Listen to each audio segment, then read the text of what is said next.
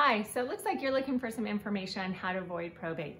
Yay, congratulations. I applaud you for planning for the future. Today I'm gonna give you two easy options how to protect your real estate from going through probate for your loved ones left behind. That's what I'm gonna talk about today. Stay tuned.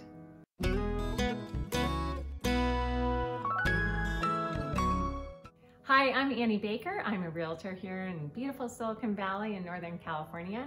I specialize in selling homes that are in trust and in probate and when seniors need to downsize. So today I'm going to talk to you about planning ahead, planning for the future, how to protect your assets so they don't go through the drawn out, expensive, lengthy, emotionally tiring process of probate for the ones you're going to leave behind. So I want to give you two simple ways to do that, and I'm going to focus on the perspective of protecting your real estate assets. My first option is a living trust. This is a fantastic option. I tell people, think of it as, you know, having a warehouse that you put your house in, your cars, your bank accounts, your stocks and bonds and artwork and collections and anything you own of value, and you put it all in a warehouse. So when you pass away, your family just opens the key to that warehouse and there it all is. Easy, great, right? That's what we're doing with the Living Trust. And they don't have to be super expensive. I actually know some attorneys and people that will help set it up for under a $1,000 if you have a very simple, straightforward estate. And I also know some very experienced attorneys that know how to set up very complicated estates with a lot of moving parts. They can be a little pricier, you know, upwards of three, five, ten thousand dollars. If you have a complicated estate, I think that would be a small price to pay for your loved ones.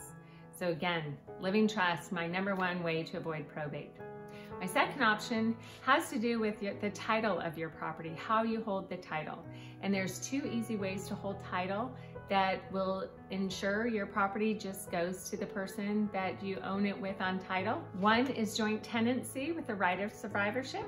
And number two is community property with the right of survivorship.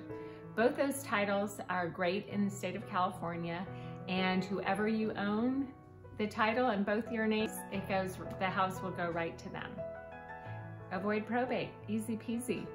So if you have more questions about how to protect maybe your bank accounts, your cars, other ways, you don't want to do a living trust, I don't really know why, but if you wouldn't want to, there are other tips I could give. Feel free to comment below, email, text me, call me. I'd be happy to share some other options, but today I just want to give you two simple ways. If you need a referral for an attorney, uh, please again, don't hesitate to reach out.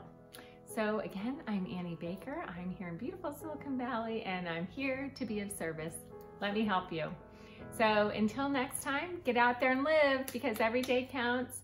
Time, have a great one.